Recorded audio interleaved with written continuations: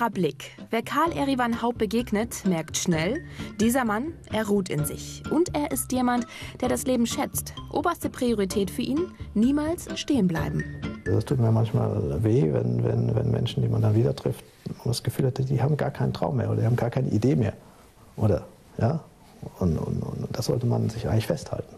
Und ich finde, die Menschen, die alt geworden sind, immer noch sprühen vor irgendetwas, die finde ich toll. Das sind meine Vorbilder. Am 2. März 1960 kommt Karl Erivan Warder Haupt in den Vereinigten Staaten zur Welt, als ältester von drei Brüdern. Nach dem Abitur macht er eine Ausbildung im Einzelhandel, studiert Wirtschaftswissenschaften.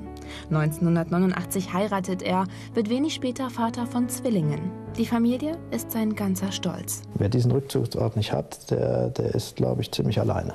Ja? Also ich merke es dann, wenn, wenn die Familie vielleicht schon mal vorher in Urlaub gefahren ist und dann kommt man nach Hause und da ist niemand. Und dann spürt man, hm, da fehlt was. Seit 2007 unterstützt Karl Erivan Haupt das Gospelprojekt Ruhe. Ziel ist es, Kinder, Jugendliche und Erwachsene aus allen sozialen Schichten zusammenzubringen und zu fördern. Das Besondere an Herrn Haupt ist, dass er unglaublich gerne Teamplayer ist, dass er möglichst viele Menschen an einen Tisch holt, in eine Halle holt und sagt, komm, lass uns gemeinsam an diesem Gospelprojekt arbeiten, denn das ist eine gute Sache. Das stärkt die Kinder, das stärkt die Jugendlichen, das stärkt unser Miteinander. Auch die ehemalige NRW-Wirtschaftsministerin Christa Toben unterstützt das Projekt. Sie ist Mitglied des Kuratoriums. Kinder, wo man erst gesagt hat, die haben nie eine Chance.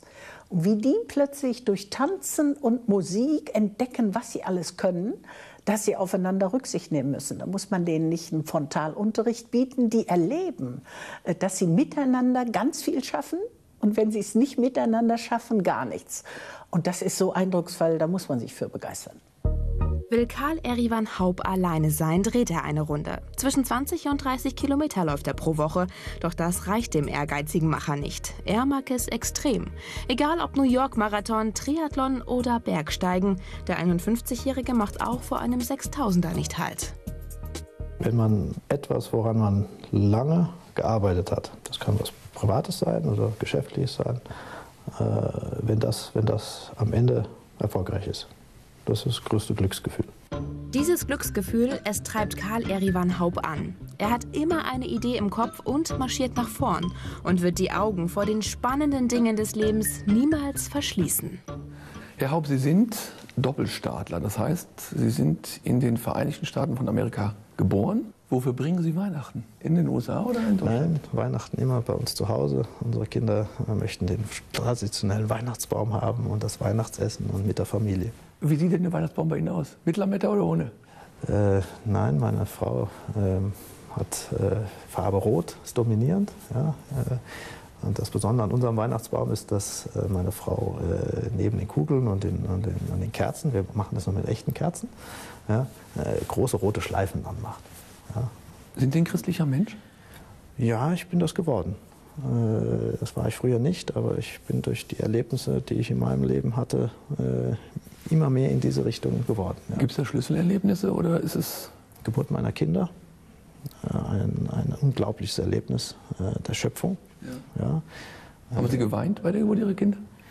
Äh, nee, das war, das war ein Kaiserschnitt, äh, deswegen war es sehr dramatisch und, ja. und sehr aufregend. Äh, ich hatte die dann beide, in, das sind Zwillinge, ich hatte sie dann beide im, im Arm.